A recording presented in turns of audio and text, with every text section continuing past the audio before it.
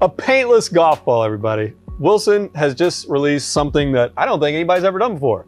My name's Adam. I'm the owner of My Golf Spy. We've got Harry alongside here as Director of Product Testing. And today we are covering something pretty unique in the golf industry. Mhm, Yeah. A paintless golf ball. My first question is, why did they make it without paint? I mean, it's just simple. It's to do with better performance. You have all of these layers within a golf ball anyway, and without paint, you're eliminating a variable. So it's one less ingredient in a recipe Correct. that makes it more complex, right? Correct. Yes. Pretty obvious when you step back and think about it. Less variables lead to less potential for performance issues.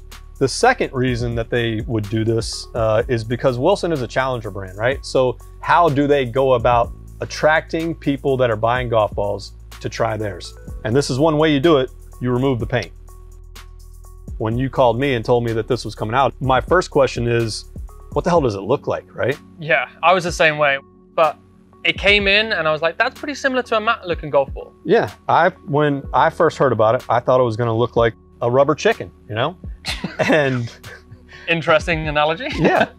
But when it came in and I actually saw the first ones, I was impressed.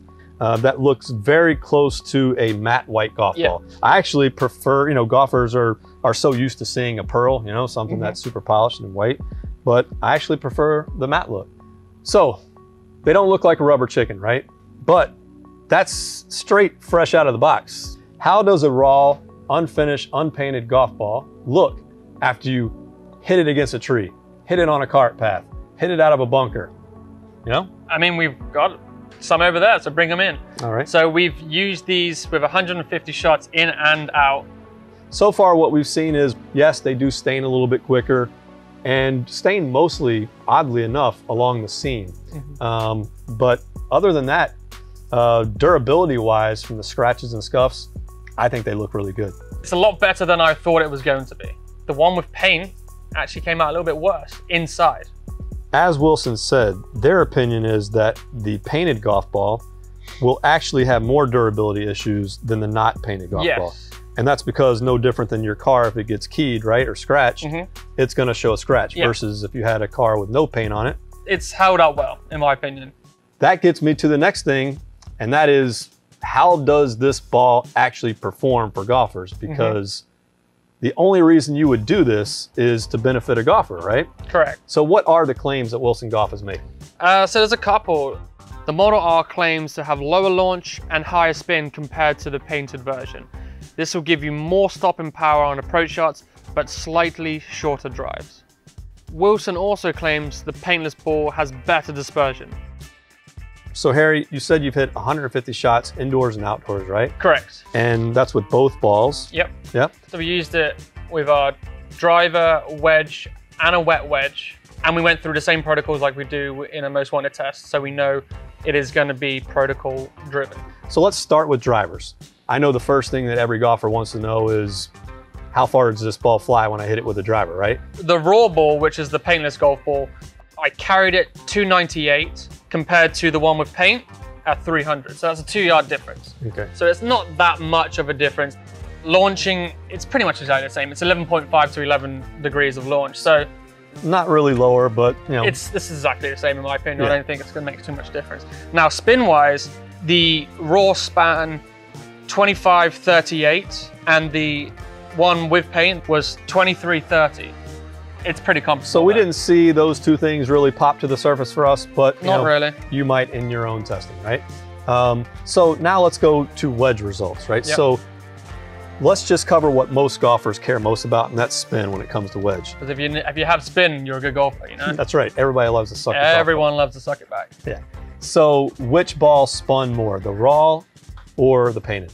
So the Wilson raw ball spun 11,869 compared to 12,011 revolutions. So less spin with the raw ball. Less spin on ideal conditions. Okay. So let's cover what is, I think, the most interesting part of the wedge testing we do. Yes. and that's wet wedge testing. Yep. Right? Everybody goes out there and plays golf in wet conditions, dew in the morning. There's always a little bit of wetness on the ball, a little bit on your club. Not every golfer cleans their clubs. So A more real world scenario is having a little bit of water introduced to the equation. What we learned from our ball and wedge testing last year was that matte balls do not spin as much when they are wet. This is not a matte ball, but it is a paintless ball. So I'm really interested to find out how much spin was lost or gained when we added water to the scenario. This is kind of scary. The raw Wilson, the backspin, all right, you ready for it? 56.32, So we had a 50% drop off about 50%. when you hit a raw ball with a wedge shot and there is a little bit of water introduced between the ball and the club. That's a, that's a big drop off, right? So you've gone from hitting a wedge, it usually takes about 10,000 RPM to spin a ball back on a green. We are now into the seven, eight iron spin rate, Yeah. right? Then you relate that to terms that everyone understands. It's now rolling out for three yards instead of pitching and stopping where it is. And now you introduce strokes gained into that. And the further you are away, the less percentage of you holding that putt. One thing I do want to mention is last year's test, we noticed that when you add variables like the water into a face, launch increases. Correct. Okay? Ball slides up the face. Slides up the face, exactly. So, like the results of our earlier test, the raw ball launched significantly higher than the painted ball.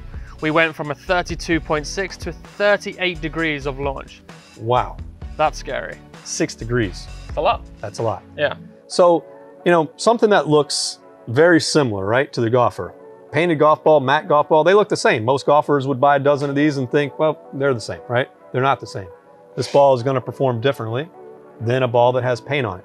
Some of those will be good for your game, some of them might not, right? All right, so the big question is, Harry, you know, making a golf ball is one thing, selling them and have people, you know, committing to buying them is another. So the question to you is, would you game this ball? I think I would if it wasn't for the wet wedge test. Yeah, I mean, That was the big kicker. performance everywhere else looked pretty good. Yeah, The wet wedge results were concerning, right? very much, yeah. Especially for a good golfer like yourself. If you're just out there as a recreational golfer having fun, that might be a little bit different. But if you're out there trying to shoot the lowest score possible in a competitive round, You know, need every advantage you can get, Yep. and not a disadvantage. I agree. Yeah. Really cool concept. Wilson Golf Ball comes out with a paintless golf ball. Definitely piqued my interest, piqued our interest Yep. here enough to do a quick little test on it. So I want to ask you, would you play a paintless golf ball? Let us know in the comments section below.